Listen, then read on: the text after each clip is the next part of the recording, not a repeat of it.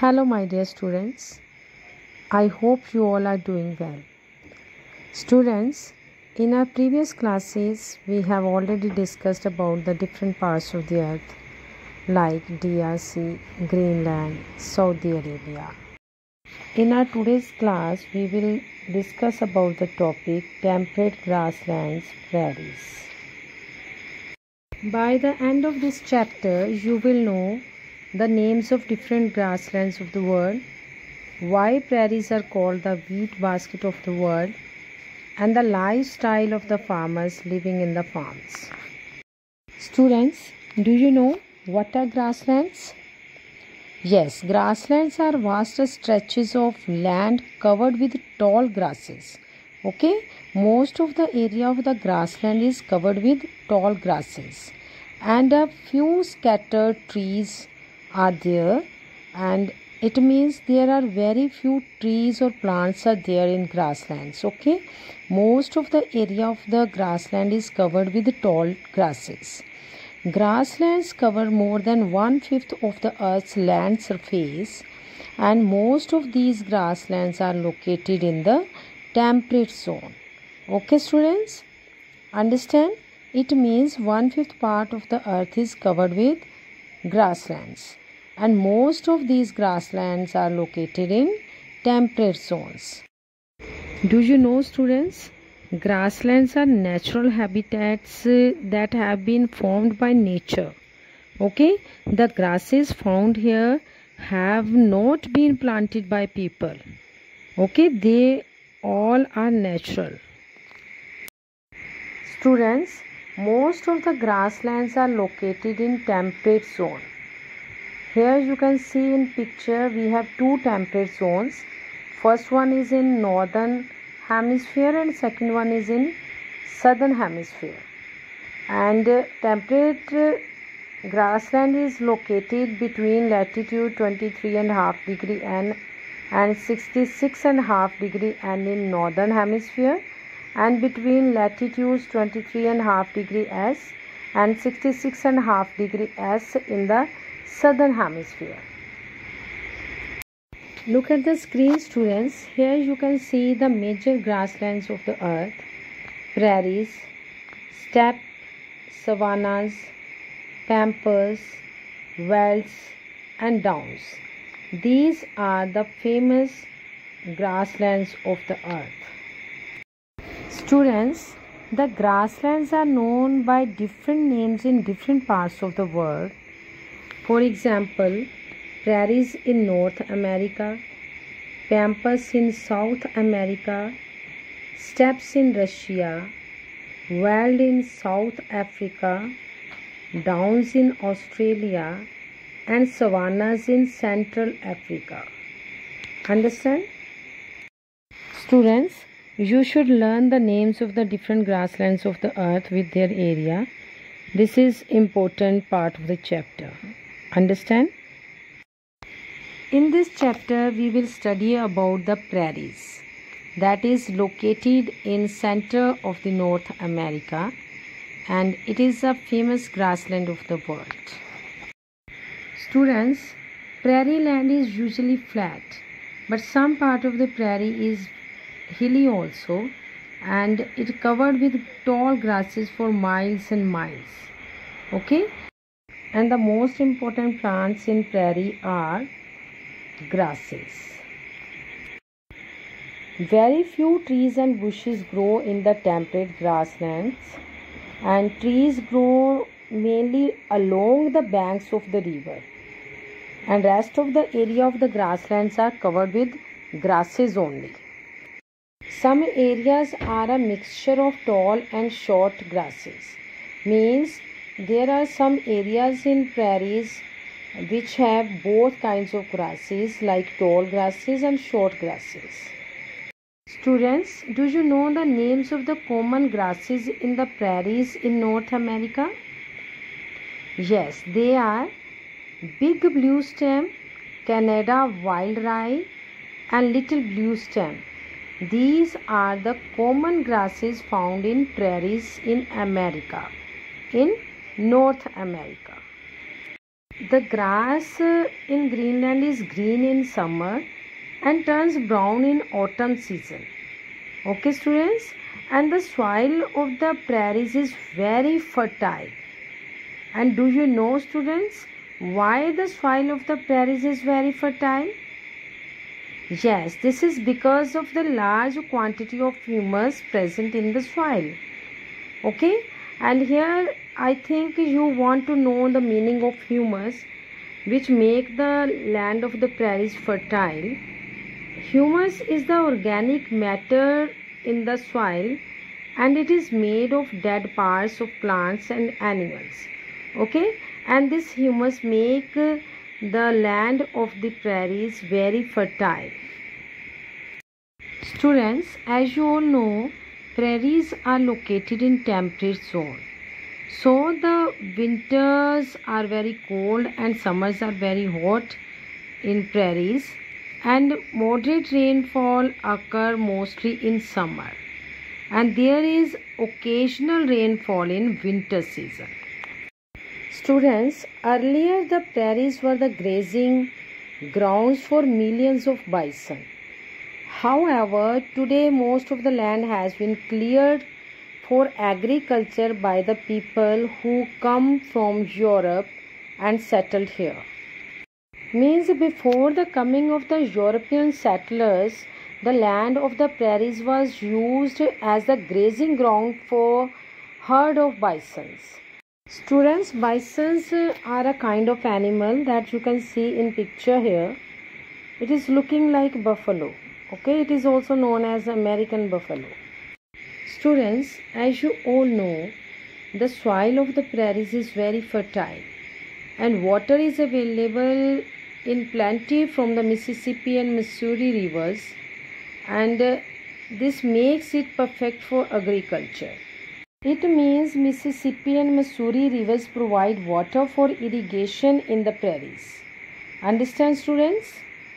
And the region produced so much wheat that it is called the wheat basket of the world.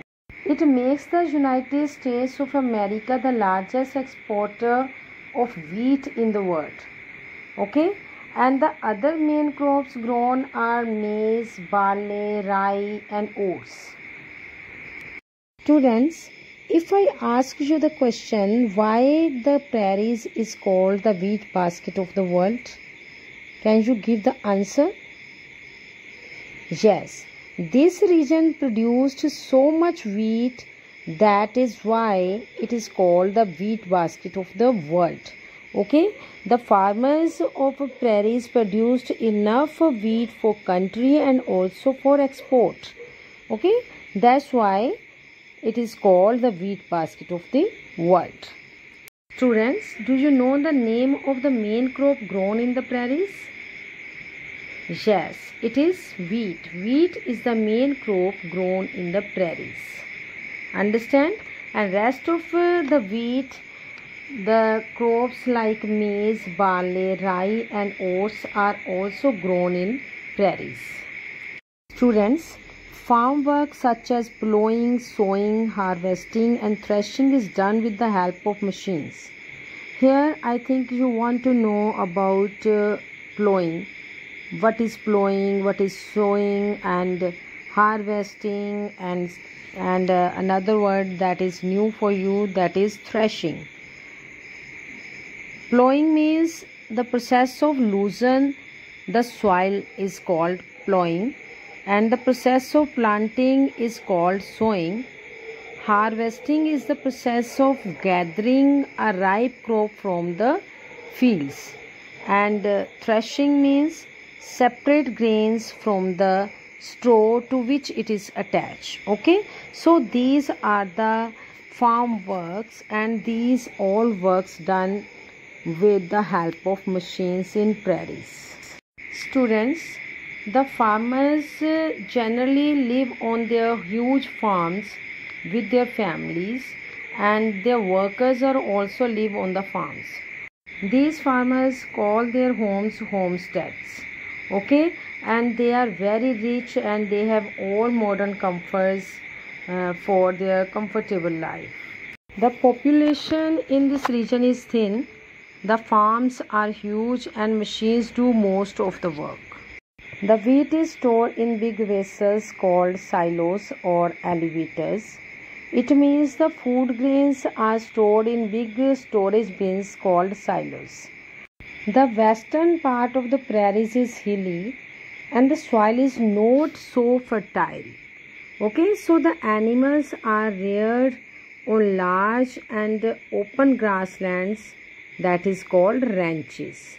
Okay, it means cattle rearing is also the main occupation of the people here, and the cattle graze in open grasslands, and these grasslands uh, are known as ranches. Students, do you know why the people of the prairies rear the animals? Yes, the people of the prairies rear the animals for their meat and products uh, like milk and butter. Modern machines are used for milking the cattle in dairy farms.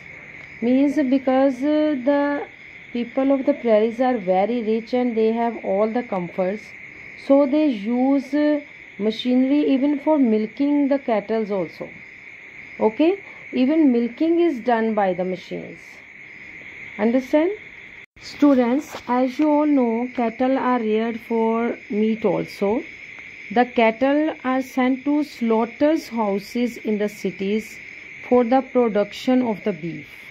Okay? And the city of chicago is an important center for slaughtering animals.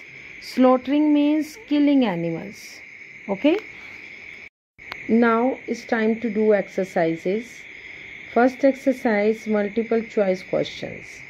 Question number 1 most of the grasslands of the world lie option a between latitude 23 and half degree n and 23 and half degree s b north of latitude 66 and half degree N and south of latitude 66 and half degree S.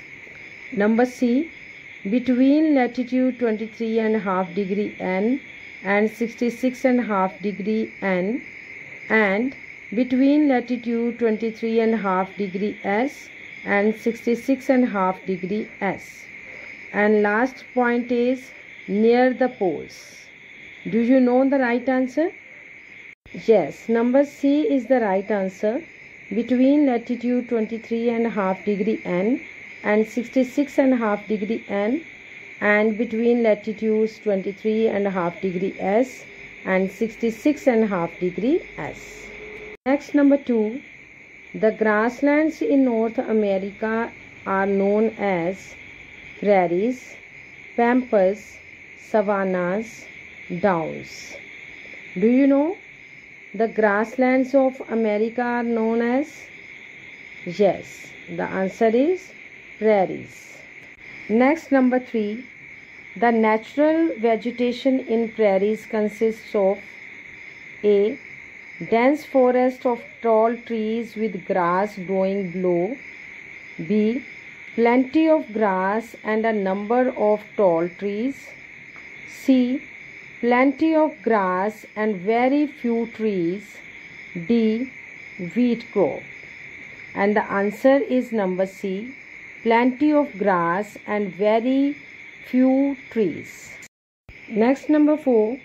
In which part of the prairies are most of the ranches present? And options are north, south, west and east. Do you know the right answer? Yes, number C, west is the right answer. Next exercise, fill in the blanks.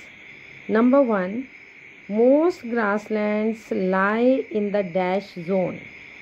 Do you know the answer? Yes, most grasslands lie in the temperate zone.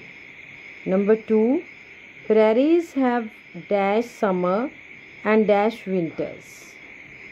And the answer is prairies have hot summer and cold winters. Number 3. The dash and dash rivers flow through the prairies. Do you know the right answer? Can you give me the answer of the most famous rivers that provide water to prairies? Yes, Mississippi and Missouri.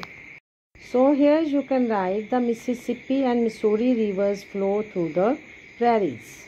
Next number 4. The main crops grown in the prairies is Yes, do you know the right answer? Yes, wheat.